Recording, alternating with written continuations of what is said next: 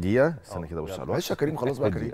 ياسر إبراهيم. آه. ياسر إبراهيم لازم أديله حقه. أول مباراة أمام الزمالك من 2022 بالجاهزية دي. آه. أول مباراة وإحنا أنا عايز الدقيقة هو الفيديو آه، كله نعرض 30 يا. شباب بسرعة على آه، طول. آه، أول مباراة لياسر إبراهيم في ظل إن آه، رامي بيلعب وهو مجهد بيلعب غير جاهز في ظل إن رامي خرج وسابه ونزل يوسف أيمن آه. في ظل إنه النهارده كل اللقطات اللي بيعملها ياسر تغطية مسك رقابة سيطرة آه، آه، آه، اعتراضات للكورة انه قادر طول الوقت يبقى مركز ومحافظ على جهازه البدنية رغم إن كان عنده كرامب مرتين. قادر إنه يحافظ لحد آخر لق- لقطة واللقطه دي اللي عدناها أكثر من مرة النهارده. وفي لقطتين كمان عملهم ياسر إبراهيم. النهارده ياسر إبراهيم هو ثاني أعلى اللاعبين تقييما في المباراة بالمناسبة بعد. آه، في النادي الأهلي بعد يحيى عطية الله ومن نادي الزمالك كان محمد عواد. طبعا اللي عمل عمل النهارده إنقاذات عظيمة جدا جدا. بص هنا اللقطة دي كمان كمان كريم قافل جاي من من الباك اليمين من القلب الدفاع ال- اليمين لقلب الدفاع الشمال. وقافل على زيزو بدون أخطاء. وبدون ما يعمل أي مشاكل في الدقيقة 70 تركيز عظيم جدا جدا خد زي ما بالك خد لك بالك. لا لا ثواني لو يا عدت شباب. جول ارجع. لو عدت آه، جول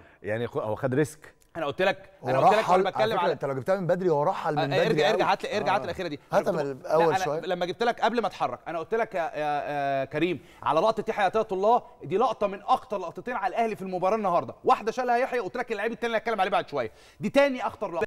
بقى سيبك من التصويبه وسيبك من من تصرف زيزو الكرة دي بالعرض جون ما فيهاش شك كنت هتشيلها لياسر إبراهيم بالمناسبة طبعا لأنه ساب مكانه وجه ناحية اليمين ورا ورا رامي ربيعة والراجل رايح سيف الجزيري انفراد جول طبعا. الشبكة فاضية طبعا. ففي النهاية أنا تحية لياسر إبراهيم هايل. مش بس إنه خد أعلى تاني تقييم. النهارده لأنه. عمل أقوى مباراة للزمالك من وقت طويل